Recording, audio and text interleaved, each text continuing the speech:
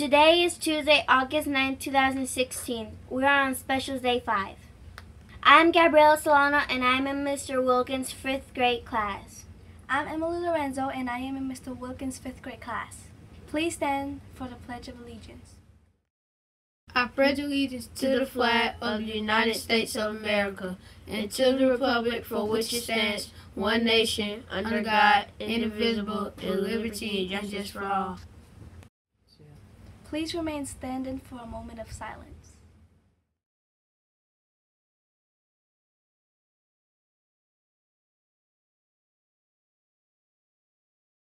Thank you. You may be seated. Your choices for lunch today are turkey pepperoni pizza, cheese pizza, tuna salad plate with roll, steamed broccoli, sliced pears, and fresh apples.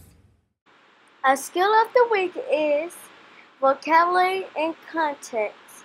This week you will learn how to hunt down the meaning of a word by using the clues around it. Happy birthday to our Kimberly Panthers who are celebrating a birthday today. Happy birthday, Jamel and Javon. Have a terrific Tuesday at LO Kimberly Elementary School. And remember, we're Panthers who roar. Respect others, own responsibility, always be safe, ready at all times.